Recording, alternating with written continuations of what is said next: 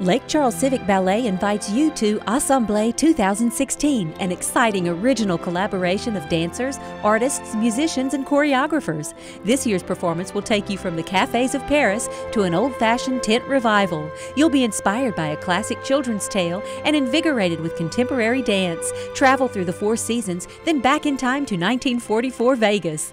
Join us for Assemblée Saturday and Sunday, March 19th and 20th at the Rosa Hart Theater. Get your tickets now.